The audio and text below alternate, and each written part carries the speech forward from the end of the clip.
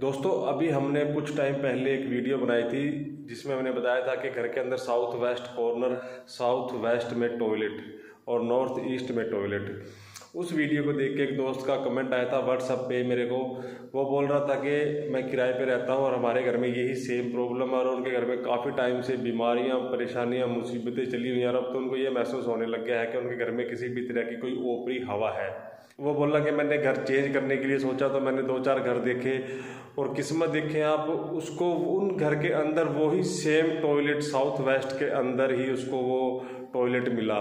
हर घर के अंदर जो भी घर उसने देखा साउथ वेस्ट में उसको टॉयलेट मिला। देखेंगे आप किस्मत और कर्म। इसमें ऐसा कोई झूठ नहीं है या फिर किसी भी तरह की कोई ठगी नहीं है कि आप सोचते हैं कि ऐसा कुछ नहीं होता। इसमें हंड्रेड परसेंट चीज़ें काम करती हैं वर्क करता है वास्तु। और अब वो दोस्त परेशान है कि अब मैं क्या करूँ? मैंने जो घर देखे हैं वो साउथ वेस्ट के ही मिल रहे हैं। उसको इसमें साउथ वेस्ट में टॉयलेट है। मैं आपको एक बात और बता दूँ, अगर बाई चांस साउथ वेस्ट में टॉयलेट है, अगर आप उसे तोड़वाने की कोशिश भी करेंगे, उसे रिमूव करने की कोशिश भी करेंगे तो उसका एक प्रोसेस होता है वास्तु के हिसाब से, जिसके बाद आपको वो टॉयलेट वहाँ से रिमूव करना होता है। पहले उसको आपको वैक्यूम करना होता है। वैक्यूम करने के बाद किस पर्टिकुलर दिन पर आपको वो टॉयलेट वहाँ से हटाना है, वो सब चीज़ें देखनी पड़ती हैं। अगर आप डायरेक्ट उसे हटाने की कोशिश करेंगे तो गाइज़ वो नेगेटिव एनर्जी है वहाँ की, वो आपको हंड्रेड परसेंट हिट करती है। आपके घर में किसी भी तरह का लड़ाई, झगड़ा, क्लेश या कोई ऐसी अनहोनी घटना हो जाएगी जिससे कि आपको वो टॉयलेट वहाँ से हटाने नहीं देगी। तो आप ध्यान रखें, अगर बाई चांस आप भी ऐसे घर में रहते हैं जिसमें साउथ वेस्ट में टॉयलेट है या नॉर्थ ईस्ट में टॉयलेट है खासकर साउथ वेस्ट में टॉयलेट है, वो बहुत ही खतरनाक है तो आप कोशिश करें और ये बात किसी से मत कहें कि मैंने घर चेंज करना है या मैं कहीं और शिफ्ट होने वाला हूँ इस टॉयलेट की वजह से। आपको अंदर ही अंदर जिस भी आप भगवान को मानते हैं, इष्ट को मानते हैं, उसका ध्यान करें, मंदिर में जाएँ या भी जो पूजा पाठ करते हैं वो करें और अपने मन ही मन में चुपचाप आप संकल्प लें, भगवान से प्रार्थना करें कि मुझे ये घर चेंज करना है और किसी को बिना बताए आप कोशिश करें घर शिफ्ट करने की, अगर आप किराए पर रहते हैं तो। क्योंकि अगर आप किराए पे रहते हैं तो आपके लिए आसान होगा घर शिफ्ट करना, लेकिन अगर साउथ वेस्ट में टॉयलेट होता है तो गाइज़ आगे भी जो भी आप घर देखेंगे किराए के लिए, वहाँ भी आपको 99 परसेंट चांस है कि साउथ वेस्ट के अंदर ही टॉयलेट मिलेगा।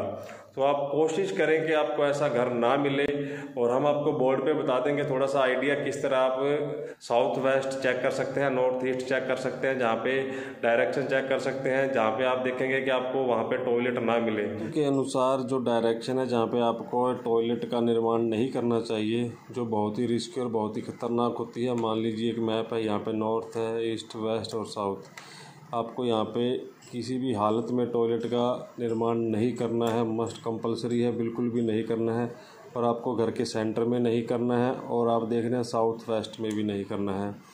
और जो साउथ ईस्ट का एरिया है गाइज़ आपको यहाँ भी टॉयलेट का निर्माण नहीं करना है। ये सारे एरिए बहुत ज़्यादा खतरनाक है। कुछ क्योंकि दोस्तों, ये जो चीज़ें होती है, ये नॉर्मल चीज़ें नहीं होती, ये कर्मों के हिसाब से मिलते हैं इंसान को। लेकिन वास्तु के हिसाब से अगर आप थोड़ी सी कोशिश करेंगे, थोड़ी हिम्मत करेंगे तो आप उन चीज़ों को थोड़ा जो मुसीबतें आपकी लाइफ में, उन्हें थोड़ा आप कम कर सकते हैं।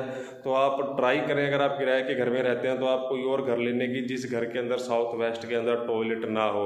और आप देखेंगे, अगर आप कोशिश करके, अगर आप कामयाब हो जाते हैं, कोई ऐसा घर ले लेते हैं, जहाँ साउथ वेस्ट में टॉयलेट और नॉर्थ ईस्ट में टॉयलेट ना हो, किचन ना हो तो कुछ ही दिनों के अंदर जो आपकी लाइफ के अंदर स्ट्रगल, मुसीबतें चल रही थी, किसी भी तरह की अनचाही मुसीबतें आ रही थी, एकदम खड़ी हो जाती है कोई मुसीबत आके, उन सब चीज़ों से आपको रिलीफ मिल जाएगा और जो भी घर में किसी भी तरह की बीमारी चल रही थी, जो आज तक डायग्नोज नहीं हुई आपकी बीमारी, आप पता नहीं कितने ही डॉक्टरों के पास चले गए तो उस बीमारी के अंदर भी आपको ऑटोमेटिक ही कुछ दिनों के अंदर देखेंगे आप चमत्कारिक रूप से आपको बहुत ज़्यादा रिलीफ मिल जाएगा।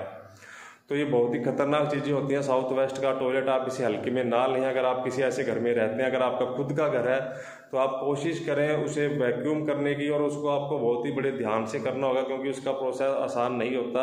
जो भी उसको कोई रिमूव करवाता है या, या फिर आप किसी वास्तुशास्त्री को बुलाते हैं तो वो भी बहुत ध्यान से इस चीज़ों को जो है साउथ वेस्ट की चीज़ों को हैंडल करता है बाथरूम को। टॉयलेट को वहाँ से हटाने के लिए इसका तो गाइज़ जो भी लाइफ के अंदर जैसी भी आपकी मुसीबतें चल रही हैं, अगर साउथ वेस्ट में टॉयलेट है तो मान के चलेंगे उसकी वजह से ही आपकी लाइफ में सब मुसीबतें हैं, आप उससे छुटकारा पाएँगे, छुटकारा पाते ही कुछ ही दिनों के अंदर आपको बहुत ज़्यादा आराम मिल जाएगा। और अगर आपका कोई डाउट हो तो कमेंट बॉक्स में छोड़ना, मिलते हैं नेक्स्ट वीडियो में थैंक्स फॉर वॉचिंग फ्रेंड्स